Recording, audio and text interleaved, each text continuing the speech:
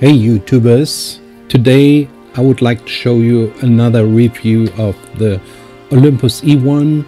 This is basically my second Olympus I own and I received this here with the regular kit lens, the 14 till 45 and this version or this copy has been used pretty much. You can see I had to paint it a little bit. The leatherette, so to say, was kind of off and I had to glue it back on and I painted it and it looks really good, I think. And all in all, this is a heavy, heavy duty camera, absolutely. Lately, and I've seen on other users that when you take pictures on certain circumstances, you have in the background some artifacts where the colors don't display correctly. I'm not sure if it's the the sensor, the Kodak sensor, or is it the light environment? I do not know, but for some reason it bothers me, I must say, because I rather like clean pictures like everybody else, of course. So, but still, this is a heavy duty camera. You can knock nails into the wall with that if necessarily, but uh, don't do it. But like I say, I had also the E3 and for some reason the E3 was a kind of the same caliber, so to say, heavy duty magnesium body, very nice ergonomics in the handling but the life view didn't convince me and it only had 4 to 3 ratio factor and not even 3 to 2 so I don't know. The E5 is too expensive. I don't need if I stumble over it cheap I will get it but I will not buy it necessarily. So but the Olympus E1 is really a great camera. It is kind of quiet when you expose. Let me show it to you. So, just listen. It is real quick and at the TIFF of course it takes a while to write on to the onto the CF cards. And this is a weather sealed body of course. We know that. And it's got a special lock here. And this is the CF card slot. And you also can get a battery grip handle.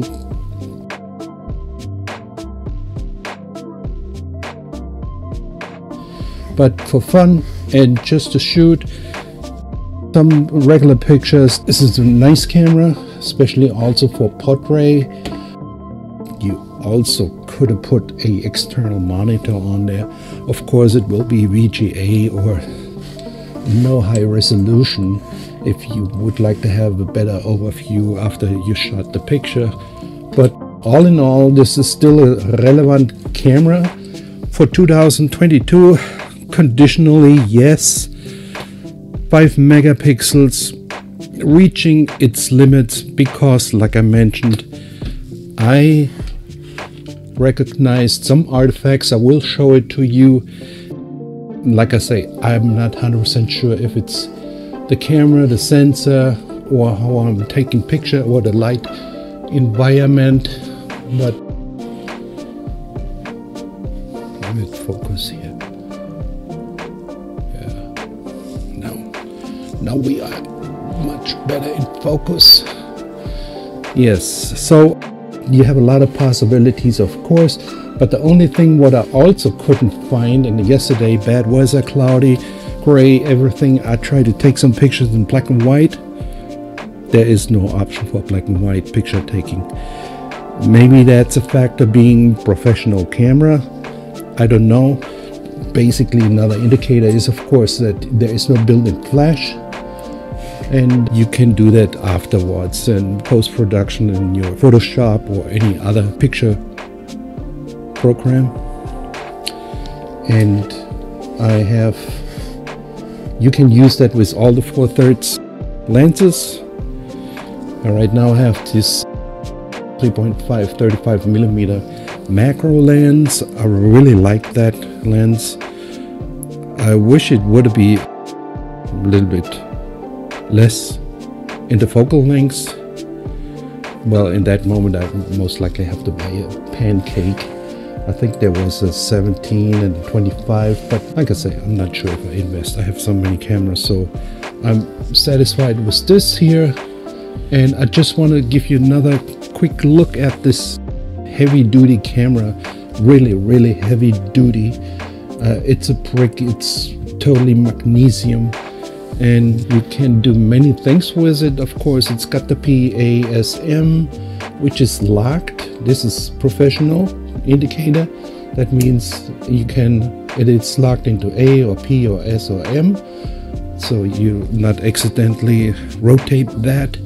You have many many buttons on the outside which is another professional indicator because you don't have to dive into the menu.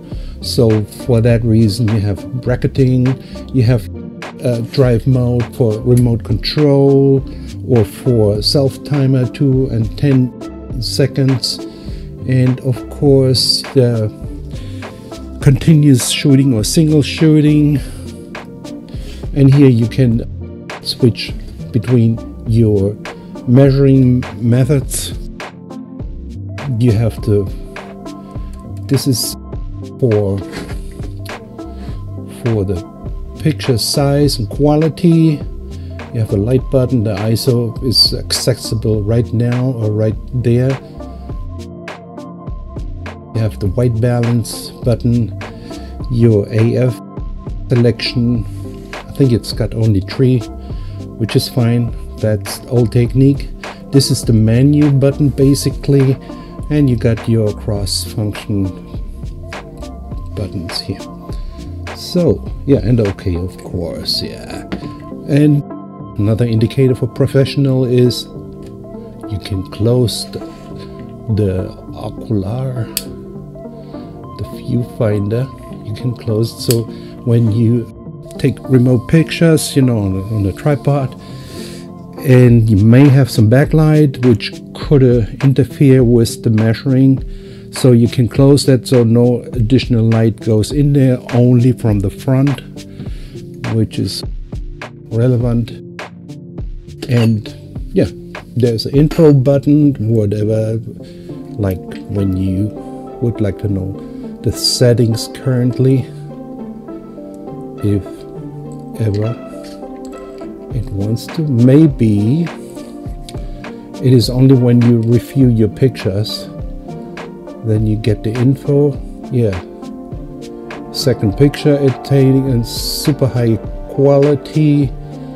Yeah, that's all the info I get right now. With this button, it's fine. We have many information here on the display.